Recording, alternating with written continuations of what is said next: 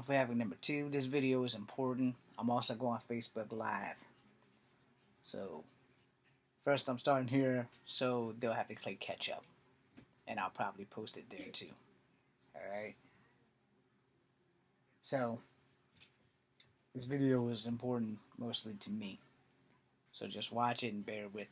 Okay.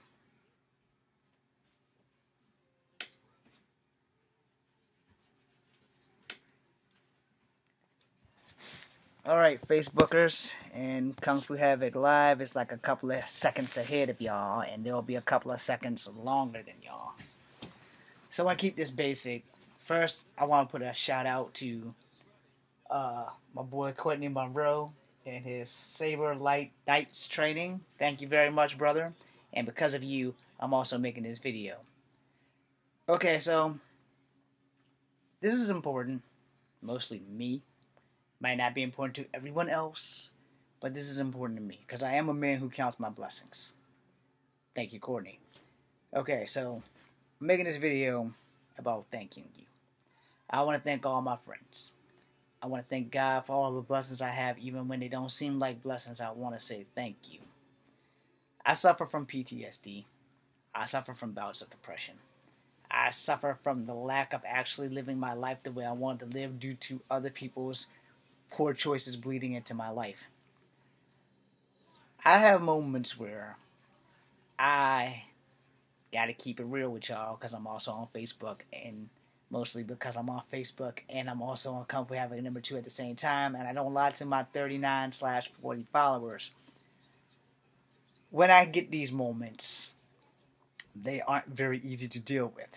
So I do find ways to pass time. I do find things to help me feel better. Um, sometimes I draw. This would be the Deer Women. I drew this today. And I also write graphic novel. I'm working on my second one now because I do hit like really, really bad, bad bouts, and it's only gotten worse since my father had passed three years ago. And you know, there's not always people that you can turn to, and only your real friends make you feel like you're wanted. All right. And for the most part of my life, I only feel wanted by some people. And to be honest with you, I love those people who want me to be around. A lot of other people, they just tolerate you.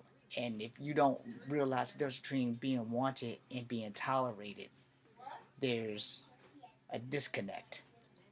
And um, one of my friends today, with the saber thing, Courtney, you know, he made me really feel wanted today. You know, and thank you, brother, because you really got me back out my shell. I haven't really been doing very well since my hip replacement, you know, mentally. Physically, I'm fine. Mentally, not so much. But, you know, when you don't feel wanted, when you don't feel loved, you you have a disconnect and I have had quite a disconnect. So if you want to see the rest of this, you're going to have to go to Kung Fu Havok number two because I'm pretty sure someone's going to screw this video up because I have my record lights on and someone here always screws that up. For those on Facebook watching though, if you know anybody who has this problem, there are hotlines that you can call. I do not have the link. I do not have the number because I have the military number and the link. But more importantly, I have these blessings called friends. And for you, if you don't know who your friends are, then you need to know who your friends are. I know who my friends are. I know who I can come to. One of them reached out to me today. He just popped up. Again, thank you, brother, for everything you did for me today. It's making me feel wanted is better than what I have been feeling for the last few years and months of my life. And you know, it does pay to have friends that make you feel like you are wanted. I'm not going to use the word love because you know when it's a man thing and we're both straight, you know, you don't want to like use the word love. But I do love all my friends, men friends, girlfriends, all that. But mostly and family. I got some special family members that do make me feel wanted, especially down in Smithfield, who reaches out to me every now and again. Y'all know who you are. And you know, this is not easy because I'm being exceptionally open and as an entertainer who has never been discovered, it's easier to be in front of the camera than it is to be behind it. But a lot of emotion goes into just living your life in general. And sometimes when you don't feel wanted and you don't have someone to turn to, mm. count your blessings and remember your friends. Be seeing you. Now, for everybody else here on Kung Fu Havok number two, I'm going to continue. Um, shout out to the three people who were watching me on Facebook, and I'm to post this there. You know, when you feel unwanted, when you felt unwanted all of your life, there is a level inside of you that sinks so deep that you can't express yourself and you can't tell people and you don't know what your next move is or your next step is. And I don't know how long I've been fighting depression. Now, I'm not gonna lie, I don't know if it was post military or pre military or in the military. I know I've had many, many bouts of it. I have gotten help, and sometimes help isn't always enough. That's why I'm making this video so that you know help comes in the smallest and unlikeliest of forms. Alright? And you need to recognize it. You need to save yourself. Because you're really the only one who can. I drew the deer woman as a way of connecting to my Native American culture. Today I learned how to work a lightsaber thanks to my boy Courtney Monroe, who's been doing quite well for three years, and you guys need to check him out here in Charlottesville. Fridays. Uh, find him on Facebook. That would be better for you, Courtney Monroe. I'm really bad at pitching shit now. I used to be a really good salesman. But for me, I often feel more unwanted than wanted. And him reaching out to me made me realize, you know, I do have more than just my small circle of friends. He's in one of my bigger circle of friends, and he um he really helped me out. You know, he's also been in a movie of mine, and webisode series rather that was stolen. But uh, as soon as I find the things, I'm going to try and re-edit the whole damn thing and put it back together. I have to find time. That's the problem. I have to find time. Um, going through some rough stuff with school. so, you know, the stress level is way up here because I'm like not sure I'm passing the class because I've been like fracking up tests left and right. I have to take a test this weekend. So I'm going to work tomorrow so I can dedicate my Sunday to studying and taking the test. I want to end this with this. You know, no matter how big the problems are, here and here, remember those blessings that you have. Remember those friends and family members that make you feel like you want to be here. I have plenty of days and nights where I don't want to wake up the next day. I kid you not. This is not no bullshit to get more followers because, hey, I'm only going to get what I have and now I can actually train. I plan on doing more martial art videos. I just have to make the time. School's got me in an uproar, and I'm trying not to fail. And like I said, I just got cleared to jog, so I'm going to do that. Don't know when, but I'm going to do that. I could take a running buddy, preferably female and pretty, or a bunch of dudes. We can all go running, chilling, and talking about chicks and stuff. But watch the Me Too movement because we don't want to get fracked by that. But um, yeah, I want to thank you.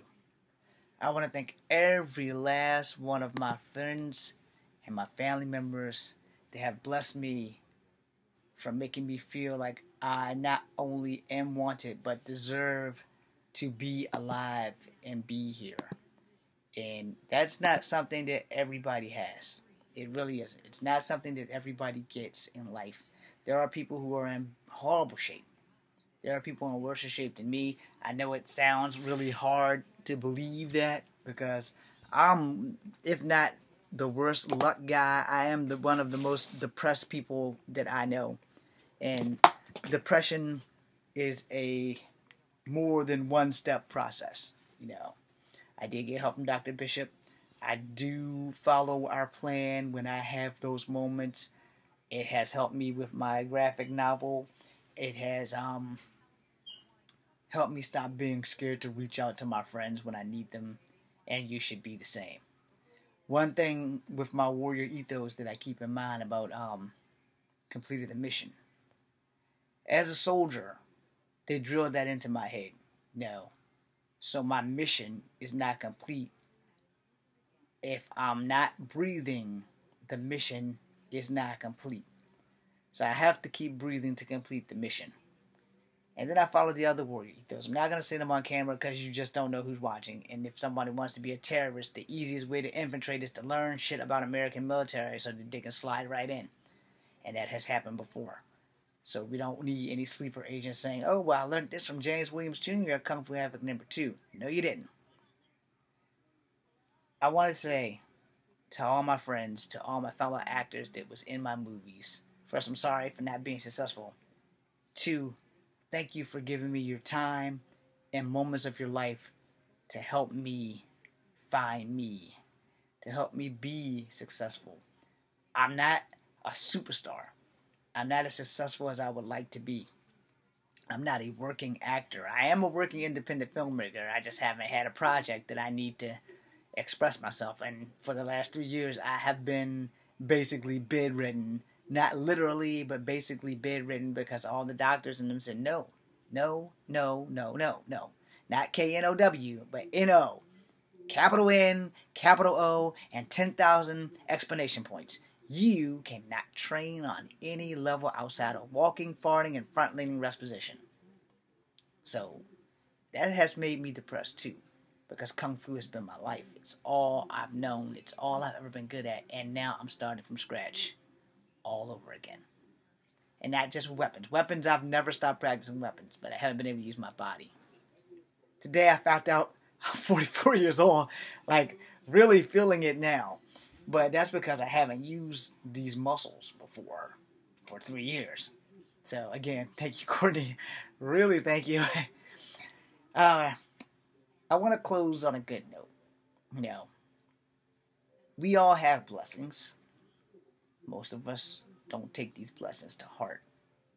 And from this day forward, that's what we need to do.